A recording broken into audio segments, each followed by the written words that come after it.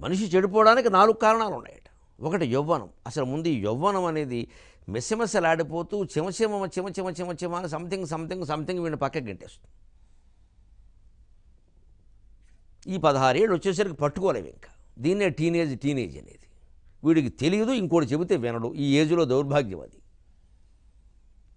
ఈ పద్నాలుగు పదిహేను fourteen fifteen sixteen seventeen eighteen nineteen దాదాపు ట్వంటీ ట్వంటీ ఫైవ్ దాటే వరకు వీడితో వచ్చే ఇబ్బంది ఏమిటంటే ఆడదైనా మగపిల్లంటే వీడికి తెలియదు పూర్తిగా. ఇంకోటి చెబితే వినడం.